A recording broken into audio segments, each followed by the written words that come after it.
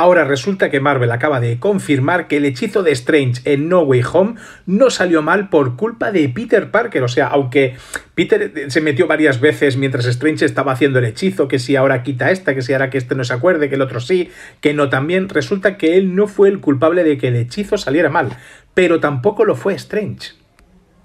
Y es que resulta que parece que la culpa de todo la tienen Loki y Sylvie por lo que pasó con He Who Remains en la serie de Loki. Ahora os explico.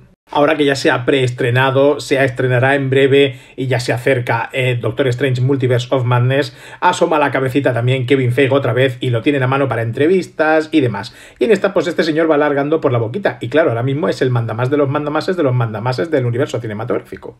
De manera que si este señor dice mañana que Thor tiene el pelo negro, pues Thor tendrá el pelo negro. El caso es que en una entrevista que le hicieron ayer, él comentó que las cosas se habían ido un poco de madre con el multiverso, hasta el punto que llega a decir que justamente el hechizo de Strange se vio desmadrado, se vio perjudicado por lo que había ocurrido en el multiverso, concretamente con lo que habían hecho Loki y Sylvie al final de la serie.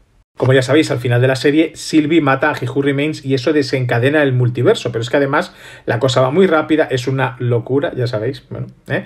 Y es lo que provoca que todo se desmadre. Y justo eso es lo que provoca también que el hechizo de Strange no funcione como debería haber funcionado.